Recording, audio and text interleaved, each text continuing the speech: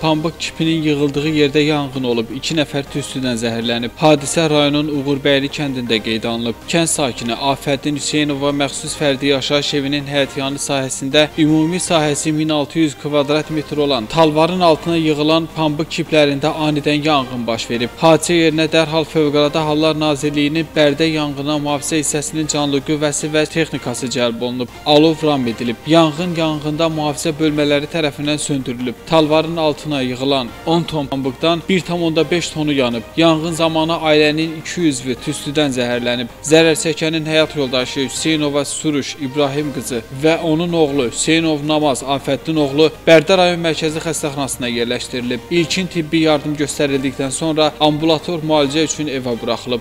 Faktla bağlı araşdırmalar aparılır. Qurban Vidadoğlu, Elgiz Abdurrəhmanov, Şamxalad Gözəlov, Dünya TV.